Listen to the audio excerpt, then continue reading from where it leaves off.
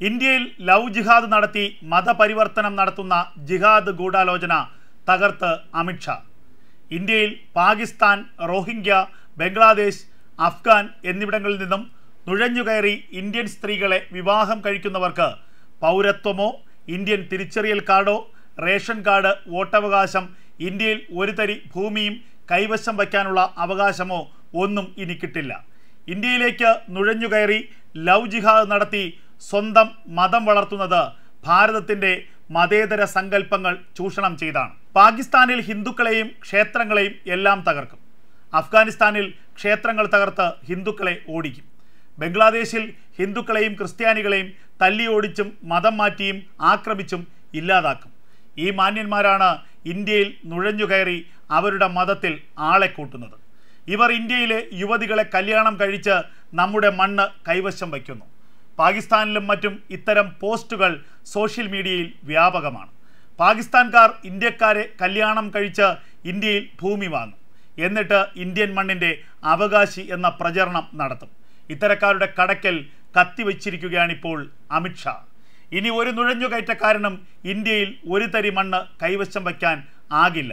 ഒരു വിപ്ലവം തന്നെ സൃഷ്ടിക്കാൻ ഒരുങ്ങുകയാണ് അമിത്ഷാ ന്യൂനപക്ഷങ്ങൾക്ക് സംവരണം നൽകില്ലെന്ന മോദി സർക്കാരിന്റെ നിലപാട് അമിത്ഷാ വ്യക്തമാക്കിയത് രണ്ട് ദിവസം മുൻപാണ്.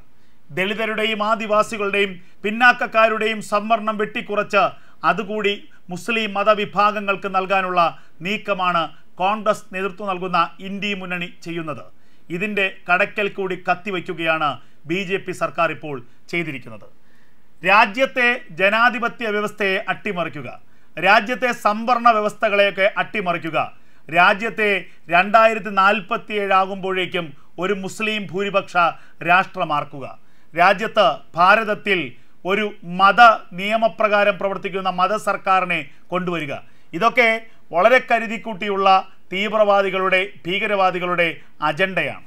ഈ അജണ്ടയുടെ മറ്റൊരു ഭാഗം കൂടിയാണ് ഇത്തരത്തിലുള്ള മതം മാറ്റവും ലവ് ജിഹാദും അതിന്റെ മറവിൽ നടത്തുന്ന ഈ വസ്തു വാങ്ങിക്കൂട്ടലും ഒക്കെ തന്നെ.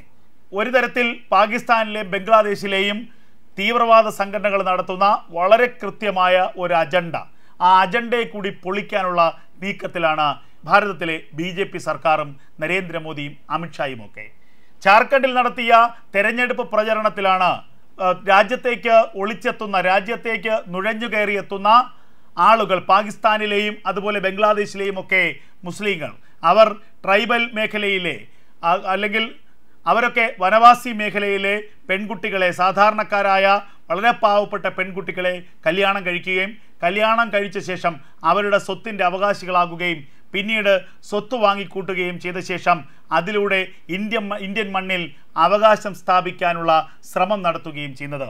ഇതിനു വേണ്ടി വലിയ ലോബി പ്രവർത്തിക്കുന്നു എന്ന് കേന്ദ്ര സർക്കാർ കണ്ടെത്തി കഴിഞ്ഞിരിക്കുന്നു അതിർത്തി സംസ്ഥാനങ്ങളിലെ ഗ്രാമങ്ങളിലൊക്കെ തന്നെ ആയിരക്കണക്കിന് പതിനായിരക്കണക്കിന് ആളുകളാണ് ഇത്തരത്തിൽ നുഴഞ്ഞുകയറിയെത്തി ഇന്ത്യയിലെ പെൺകുട്ടികളെ വിവാഹം കഴിച്ച് ഇന്ത്യയുടെ മരുമകനായി വാഴാനുള്ള മോഹവുമായി എത്തുന്നത്. ഇവരെയൊക്കെ തന്നെ നിർബന്ധപൂർവം മതം മാറ്റും. പിന്നീട് ഇവരുടെ കുടുംബങ്ങളെ മതം മാറ്റും. പിന്നീട് ഗ്രാമങ്ങളിൽ ഇത്തരത്തിൽ ഇത്തരത്തിലുള്ള നിരവധി ആളുകളെ താമസിപ്പിക്കും. അവിടെ വസ്തു വാങ്ങും. പിന്നീട് അത് ഒരു മതഗ്രാമമാക്കി മാറ്റും. പിന്നീട് ഇവരുടെ ശരിയത്ത് നിയമപ്രകാരമുള്ള നിയമങ്ങൾ അവിടെയൊക്കെ നടപ്പാക്കും. ഇത് കാലങ്ങളായി കരുതിക്കൂട്ടി നടത്തുന്ന ജിഹാദിന്റെ ഭാഗമാണ് എന്ന് കേന്ദ്ര സർക്കാർ കണ്ടെത്തി കഴിഞ്ഞിരിക്കും ഇതിനൊക്കെ ഇന്ത്യ മുന്നണിയും കോൺഗ്രസും ഒക്കെ തന്നെ വലിയ പിന്തുണയാണ് നൽകുന്നത്. നമുക്കറിയാം രാജ്യത്ത് കഴിഞ്ഞ കാലങ്ങളിൽ പോപ്പുലർ ഫ്രണ്ട് അടക്കമുള്ള സംഘടനകളുടെ പ്രവർത്തനം. അവരുടെയൊക്കെ പ്രഖ്യാപിത ലക്ഷ്യം എന്താണ്? ഇന്ത്യ എന്ന് പറയുന്ന ഭാരതം എന്ന് പറയുന്ന ഈ രാജ്യത്തെ മത രാജ്യമാക്കി മാറ്റുക. ഇന്ത്യയിലെ മതേതരത്വത്തിന്റെ കടക്കൽ കത്തി വെച്ചുകൊണ്ട് ഇതിനെ ഒരു മതരാഷ്ട്രമാക്കി മാറ്റുക. ജനാധിപത്യപരമായി തിരഞ്ഞെടുക്കപ്പെട്ട സർക്കാരുകളെ അട്ടിമറിക്കുക. അതിനുശേഷം അഫ്ഗാനിസ്ഥാനിലും താലിബാനിലുമൊക്കെ നടക്കുന്നത് പോലെ മതത്തിന്റെ പേരിൽ ഖുറാന്റെ അടിസ്ഥാനത്തിലുള്ള ഭരണം നടപ്പാക്കുക മതനിയമം നടപ്പാക്കുക ശരിയത്ത് നിയമം നടപ്പാക്കുക. അങ്ങനെ നടപ്പാക്കണമെങ്കിൽ ഒരു ദിവസം കൊണ്ടോ രണ്ട് ദിവസം കൊണ്ടോ അത് സാധ്യമാകില്ല എന്ന് ഇവർക്കറിയാം. കേവലം ആക്രമണത്തിലൂടെയോ അല്ലെങ്കിൽ ഏതെങ്കിലും തരത്തിലുള്ള ഭീകര പ്രവർത്തനത്തിലൂടെ മാത്രമേ നടക്കില്ല. മറിച്ച് ഇത് കൃത്യമായ പദ്ധതിയിലൂടെ കൃത്യമായ പ്ലാനിങ്ങിലൂടെ കൃത്യമായ തന്ത്രങ്ങളിലൂടെ നടപ്പാക്കണം. ഒരു ഭാഗത്ത് രാജ്യത്ത് ഭീകരപ്രവർത്തനം വ്യാപിപ്പിക്കുന്നു രാജ്യത്ത് അസ്ഥിരതകൾ വ്യാപിപ്പിക്കുന്നു. രാജ്യത്തിന്റെ സമാധാനം കെടുത്തുന്നു. രാജ്യത്തെ സർക്കാരുകൾക്ക് നിരന്തരം തലവേദന ഉണ്ടാക്കുന്നു മറുഭാഗത്ത് വളരെ സൈലന്റായി വളരെ നിശബ്ദമായുള്ള ഇത്തരം ജിഹാദിന്റെ പ്രവർത്തനം നടത്തുന്നു. ആളുകൾക്കിടയിലേക്ക് സമൂഹത്തിനിടയിലേക്ക് ഓരോ കുടുംബത്തിലേക്കും ഇത്തരം ആളുകളെ നുഴഞ്ഞു കയറ്റി അവിടെ ക്യാൻസർ പോലെ ഇതിനെ പടർത്തി പടർത്തി ഒരു സമൂഹത്തിന് തന്നെ കാർന്നു തിന്നുന്ന സാഹചര്യം ഒരുക്കുന്നു. ഇങ്ങനെ രണ്ട് തരത്തിലുള്ള ആക്രമണങ്ങൾ വരുമ്പോൾ പെട്ടെന്ന് തന്നെ ഒരു സമൂഹം ഛിന്നഭിന്നമായി മാറും. ആ സമൂഹത്തിനിടയിൽ പിന്നീട് ഏതെങ്കിലും തരത്തിലുള്ള ഭീകരപ്രവർത്തനം നടത്തണമെങ്കിൽ അത് ഇവർക്ക് എളുപ്പമായി മാറും. ഇതൊക്കെ വളരെ കൃത്യമായി മനസ്സിലാക്കിക്കൊണ്ടാണ് ഇപ്പോൾ അമിത്ഷാജി അദ്ദേഹത്തിന്റെ ഏറ്റവും നിർണായകമായ നീക്കം നടത്തിയിരിക്കുന്നത്. ഇനി രാജ്യത്തേക്ക് നുഴഞ്ഞു കയറിയെത്തുന്ന ഒരുത്തനും ഭാരതത്തിന്റെ ഒരു ഒരു സെന്റ് ഭൂമി ഒരിഞ്ച് ഭൂമി സ്വന്തമാക്കാനാകില്ല എന്നുള്ള കർശനമായ നിയമം ഇപ്പോൾ സാധ്യമാക്കിയിരിക്കുന്നു. ഞാൻ നേരത്തെ പറഞ്ഞതുപോലെ ദിവസങ്ങൾക്ക് മുൻപാണ് ജാർഖണ്ഡിൽ വെച്ച് തന്നെ അമിത്ഷാ മറ്റൊരു പ്രധാനപ്പെട്ട ഒരു പ്രസ്താവന നടത്തിയത്.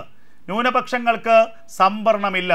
രാജ്യത്ത് മതത്തിന്റെ പേരിലുള്ള സമ്പർദ്ദമ സംവരണം അനുവദിക്കില്ല. അത് ഭരണഘടനാ വിരുദ്ധമാണ്. രാജ്യത്ത് ഭരണഘടനാ പ്രകാരമുള്ള സംവരണത്തെ അട്ടിമറിക്കാനുള്ള ശ്രമങ്ങൾ എത്രയോ കാലങ്ങളായി നടക്കുന്നു. പ്രത്യേകിച്ച് പിന്നാക്ക വിഭാഗത്തിന്റെ ദളിതരുടെ ആദിവാസികളുടെ അതുപോലെയുള്ള മറ്റ് ഏറ്റവും അധസ്ഥിതമായ വിഭാഗത്തിന്റെ സംവരണത്തെയൊക്കെ വെട്ടിക്കുറച്ചുകൊണ്ട് അതുകൂടി മുസ്ലിം മത വിഭാഗത്തിന് നൽകാനുള്ള ശ്രമം അവരെ അവർക്ക് മതപരമായ സംവരണം നൽകാനുള്ള ശ്രമം. അത് കോൺഗ്രസ് പലതവണ തെരഞ്ഞെടുപ്പ് വാഗ്ദാനമായി നൽകുകയാണ്. നേരത്തെ മഹാരാഷ്ട്രയിൽ ഒരു കോൺഗ്രസിന്റെ ഉന്നതൻ പറഞ്ഞത് പത്ത് ശതമാനം അധികം സംവരണം മുസ്ലിം മതവിഭാഗത്തിന് നൽകുമെന്നാണ് കോൺഗ്രസ് അധികാരത്തിൽ വന്നാൽ. അപ്പോൾ ഇതൊക്കെ രാജ്യത്തിന്റെ ജനാധിപത്യ വ്യവസ്ഥയെ ഭരണഘടനയെ അട്ടിമറിക്കാനുള്ള ശ്രമങ്ങളാണ്. ഇതിനെയൊക്കെ ഒരിക്കലും രാജ്യത്ത് വച്ച് പൊറപ്പിക്കില്ല എന്ന് വളരെ കൃത്യമായി പറയുകയാണ് അമിത്ഷാ ബി ജെ പി സർക്കാർ അധികാരത്തിലിരിക്കുന്നിടത്തോളം കാലം രാജ്യത്ത് മതസംവരണം അനുവദിക്കില്ല. അതുപോലെ തന്നെ പൗരത്വ ഭേദഗതി ഇതൊക്കെ പരസ്പര പൂരകങ്ങളാണ്. പൗരത്വ ഭേദഗതി കൊണ്ടുവന്നത് എവിടെയാണ്? മറ്റ് മറ്റ് രാജ്യങ്ങളിൽ. പാകിസ്ഥാൻ ബംഗ്ലാദേശ് അടക്കമുള്ള ഇന്ത്യയുടെ അയൽ രാജ്യങ്ങളിലുള്ള ന്യൂനപക്ഷ മതവിഭാഗങ്ങൾ. അവിടെ മതപരമായ വിവേചനം അനുഭവിച്ച മതവിഭാഗങ്ങൾ ഇന്ത്യയിലേക്ക് കുടിയേറിയപ്പോൾ അവർക്ക് പൗരത്വം നൽകുക എന്നുള്ളതാണ്. അതിന്റെ അടിസ്ഥാനം പാകിസ്ഥാനിലുള്ള മുസ്ലിം ഇവിടെ നുഴഞ്ഞു കയറി ഭീകരപ്രവർത്തനത്തിനായി എത്തിയ ആ പൗരന് ഇന്ത്യയുടെ പൗരത്വം കൊടുക്കണമെന്നല്ല ആ വ്യക്തിക്ക് ഇന്ത്യയുടെ പൗരത്വം കൊടുക്കണമെന്നല്ല. അതിനെ പൂർണമായും നഖശികാന്തം എതിർക്കുകയാണ് ഇന്ത്യയുടെ സർക്കാർ. എന്തായാലും നരേന്ദ്രമോദിയും അമിത്ഷാജിയും രണ്ടും കൽപ്പിച്ചു തന്നെയാണ് രാജ്യത്ത് പലതരത്തിലുള്ള വിപ്ലവങ്ങൾ കൊണ്ടുവരികയാണ്.